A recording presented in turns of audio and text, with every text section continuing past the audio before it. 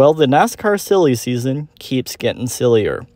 I must admit, I did not see this one coming. It was just announced that Justin Haley has signed a multi year agreement to drive for Rick Ware Racing starting in 2024 in the Cup Series. Now, it hasn't been announced which car for Rick Ware Racing or what sponsor. That will all be announced at a later date.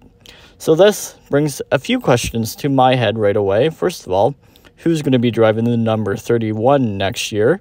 Uh, I guess we'll have to wait and see about that one. And how will Justin Haley do with Rick Ware Racing? Now, I know a lot of people already have a opinion about Rick Ware Racing, but you have to admit, in 2023, their performance has started to improve. So I can only hope that that will continue to be the case. As the more competitive cars we have in the Cup Series, the better, in my opinion.